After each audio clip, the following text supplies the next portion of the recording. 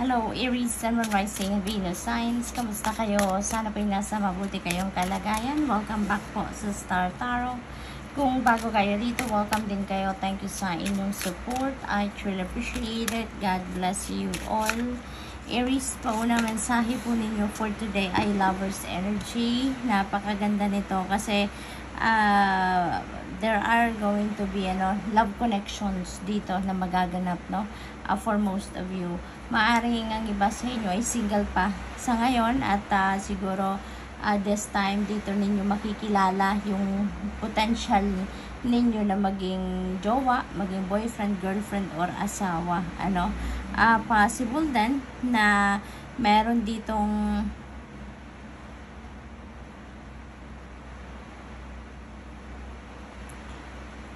pag-uusap na magaganap between you and your person kung kayo naman ay nasa relationship na at uh, iniimbitahan kayo ng spirit dito na be true to yourself. Okay? Be true to yourself. Kung ano yung gusto ninyong sabihin, sabihin ninyo. Kung ano yung nararamdaman ninyo, yun ang yun ang i-express ninyo, no? So, what else? We have the star energy. Uh, sabi dito, hard times are over. Ayan. So, look forward to an abundance of happiness, enthusiasm, and positivity. So, napakagandang balita, no? Um, ito dahil yung mga, mga difficult situations ninyo are coming to an end. Your uh, hard times are over na sa ngayon. So, most likely, mahahanap nyo na dito yung solusyon sa inyong mga problema. Mahahanap nyo na dito yung way out dyan sa inyong mga obstacles na pinagdadaanan, no? So, you're heading towards uh, the light, you're heading towards happiness, you're heading towards uh, positivity. Kaya this is good, no?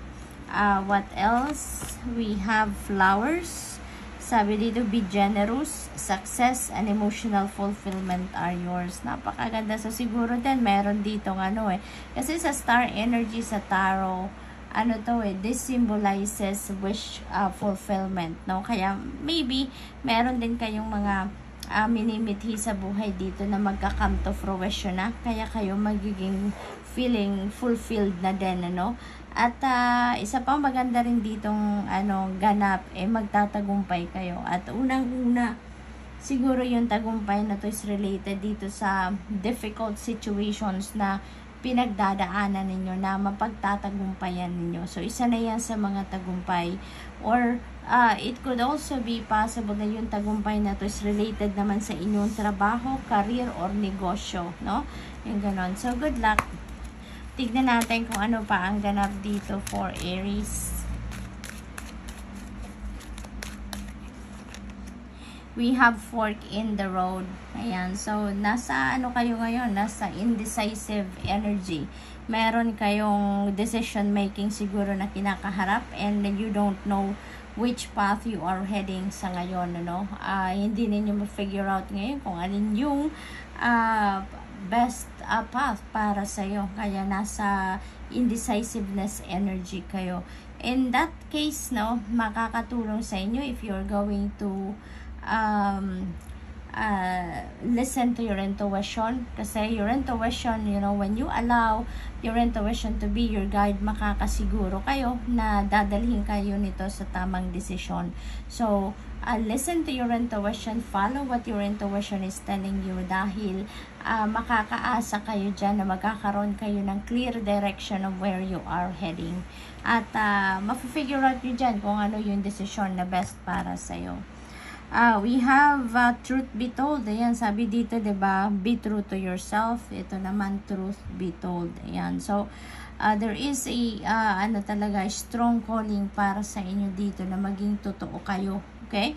Uh, probably, meron ditong truth no, that is coming to light. Maaring yan, isang bagay yan na uh, patunay or manifestation ng inyong pagiging uh, pag, yung pagpapakatotoo ninyo maybe there is some truth about yourself that you're going to divulge. Maring meron kayong uh, i-disclose na na secret ninyo, no? At ngayon, yan ay uh, malalaman na ng iba or ipapaalam mo na sa iba, no? And with that, no, 'di ba, may kasabihan na uh, truth will set you free. Kaya ngayon parang you're going to be feeling liberated na, you're going to be feeling free, no? Kaya magiging magaan na rin ang inyong pakiramdam. Uh, we have poised, yan, you know pretty much kung saan kayo papunta, no? So, yung indecisiveness energy na to will turn into clarity. Kaya mala malalaman nyo na kung saan kayo papunta. You would be able to ano na to know or figure out kung alin na ang best path para sa iyo na tatahakin ninyo. So dito sigurado na kayo or magiging sigurado na kayo in, in eventually kung ano na yung gagawin ninyo or what steps are you taking. Uh, tignan natin kung ano pa ang ganap dito for Aries. We have uh, Queen of Wands. Ayan. So, sa Queen of Wands, ano, kasi dito alam niyo na kung alin talaga yung, kung anong gagawin ninyo. Uh, wala nang makakapigil sa inyo dyan. No? No one or nothing will get in your way. At uh, dire-diretso na to. Nan nandiyan dyan na yung focus ninyo kasi alam niyo na eh kung saan kayo papunta. You already know what are the steps that you are taking. Kaya, ano na to, yung decision ninyo dito, tuloy-tuloy na to. No, you're going to push through kung ano man yung binabalak ninyong gawin dito at kung ano yung gusto ninyong ma-achieve, you're really going to work on it. No? So, we have five of pentacles. Uh, ang iba siguro sa inyo may problema din, no? Pagdating naman sa pera. Maring yun din ang kulang sa inyo, resources, money. Sa ngayon, maybe may mga financial obligations ang iba sa inyo na kailangan tugunan but you don't have that uh, enough money no para magawa ninyo yon so um, um, kung nakikita ninyo merong butterfly dito no nakalagay sa bubble yung butterfly and um, papunta sa inyo so that is giving you a heads up na uh, wake up no Aries kasi there is a change that is uh, going to happen. Merong pagbabago sa inyong sitwasyon na magaganap.